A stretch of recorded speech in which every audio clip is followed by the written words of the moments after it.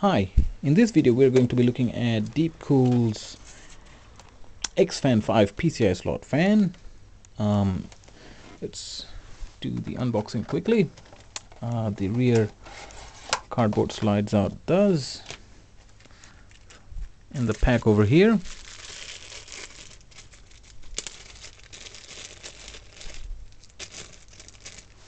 They provide a screw for mounting connection cable which allows for both um, 3 pin connection here or via Molex. Also please note that um, there are three wires running which allows for um, RPM counts. And we, we're going to be talking about RPMs um, why it's important as well. It, but first let's have a look at the um, fan itself. As you can see it's made of blue translucent um, plastic. Uh, the uh, cage over here is actually uh, metal um, and, and the grill runs all the way from bottom to the top of the um, fan here. Um, now air intake for air intake they have um, a lot provision from either sides which is actually quite handy um, for air to be getting sucked in from either side and being thrown out from the back. Now for the dimensions. Lengthwise the cooler is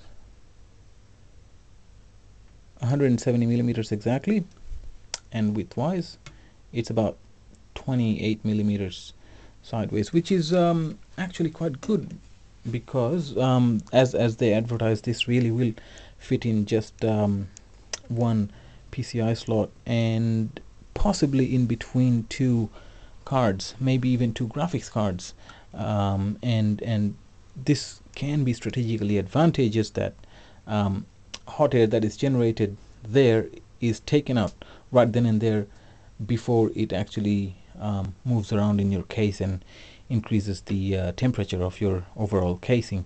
Um, now for the sound. Let's um, quickly hook it up.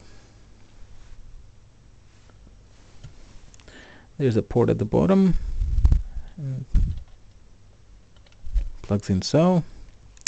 Now I'm going to be using a um, RPM controller here to demonstrate sound levels at various RPMs okay. Let's power it up First, low. It is audible, but not so much so. Um, most of the sound that you may be hearing is from the power supply that I'm using to power up the um, fan. But there is some amount of, um, actually, a reasonable amount of um, airflow that we can feel over here. Um, I've got cotton thread in my hand um, and we have airflow. Let's see. About that far away it's still blowing so as you can see. Um, Deepcool advertises that at maximum rate um, it's able to um, take out 17.18 um, cubic feet per minute which is roughly equivalent to about 50 to 70 percent um, amount of airflow that you may expect from a um, ordinary 120 millimeter fan which is eh, it's okay.